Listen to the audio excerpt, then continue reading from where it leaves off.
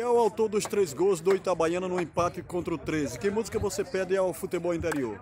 Eu quero pedir uma música para você, secretário de Ferrugem, que foi o símbolo do jogo, né? Então essa é a música ideal.